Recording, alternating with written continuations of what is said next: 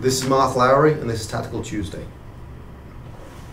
Looking today when you might decide to exploit the opposition in the wide areas.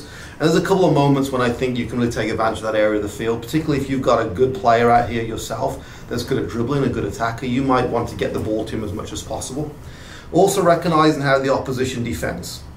If they defend with a back four, and maybe their wide guy, their winger, doesn't like to run back and defend, there are lots of moments where you can create 2v1 situations around their fullback.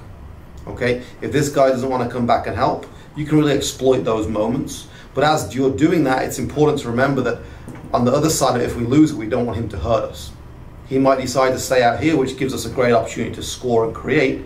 But in doing that, he could also hurt us on a counter attack. So as we're attacking, we'll also look at moving people over to make sure if the ball breaks out, this player can't hurt us. Another time to exploit teams in the wide area is if they might play with a back three, which a lot of teams do. A narrow three across here could leave space in these wide areas for you.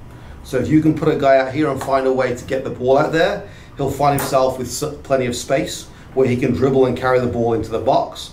And then it pulls their three apart a little bit more to create space centrally for runners to come through.